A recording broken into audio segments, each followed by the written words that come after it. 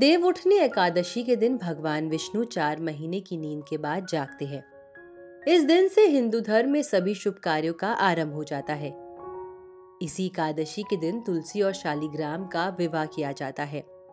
तुलसी विवाह कार्तिक मास की शुक्ल पक्ष की एकादशी को मनाया जाता है। मान्यता है कि तुलसी विवाह कराने से कन्यादान के बराबर फल मिलता है। हिंदू धर्म के अनुसार तुलसी विवाह कई जन्मों के पापों को नष्ट करता है।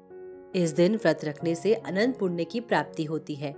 जिनका दाम्पत्य जीवन बहुत अच्छा नहीं चल रहा होता, वो लोग सुखी दाम्पत्य जीवन के लिए तुलसी विवाह ज़रूर करवाए। जिन लड़कियों का विवाह नहीं हो रहा हो, वो भी तुलसी विवाह ज़रूर करे। तुलसी पूजा करवाने से घर में सुख और शांति आती है, तथा संतान योग्य होती है। तुलसी विवाह के दिन से देव उठने के बाद शादियों के लग्न शुरू हो जाते हैं।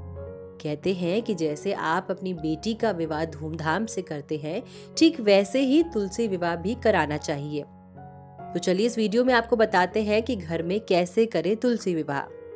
तुलसी विवाह के दिन सूर्योदय से पहले उठे, इसके बाद स्नान करके साफ़ वस्त्र धारण करें और व्रत का संकल्प ले।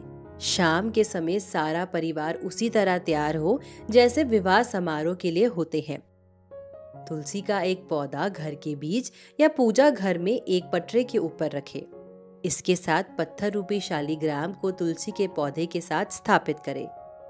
तुलसी के पौधे को लाल चुनरी उड़ाए और सारा श्रृंगार का सामान चढ़ाए। शालीग्राम जी पर चावल नहीं चढ़ते हैं, उन पर तिल चढ़ाई जा सकती है। तुलसी और शालीग्राम पर दूध में भीगी हल्दी लगाए। अगर आपको हिंदू धर्म में विवाह के समय बोला जाने वाला मंगलाष्टक आता है तो वो अवश्य गाए।